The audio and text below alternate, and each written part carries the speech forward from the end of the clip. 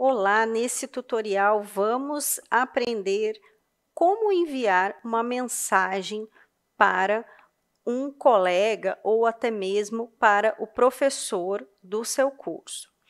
O mais importante é que você compreenda que existe mais de uma possibilidade de envio de mensagens no Moodle.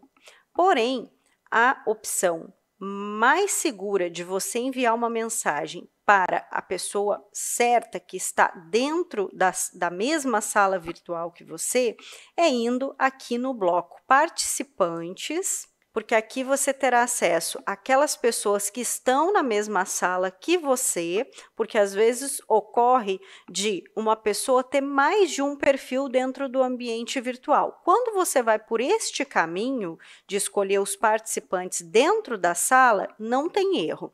Então aqui você vai escolher, por exemplo, se for mensagem para um colega, você vai verificar o papel aqui que é aluno. Se for mensagem para o professor, você vai verificar quem são os professores aqui no papel também professor.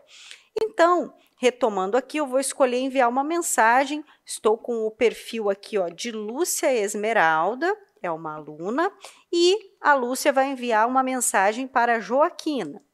Aqui em cima, ao lado do nome, da colega, aparece um balãozinho escrito mensagem do lado. E é aqui que você clica, então, para enviar uma mensagem. Aqui embaixo abre uma caixinha de texto.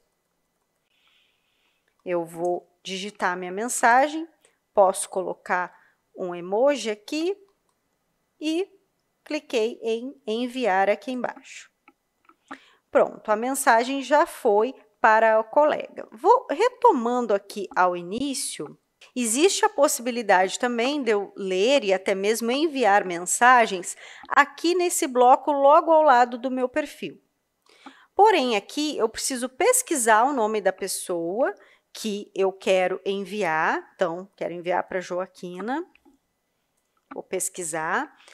Apareceu a Joaquina e eu posso enviar a mensagem para ela.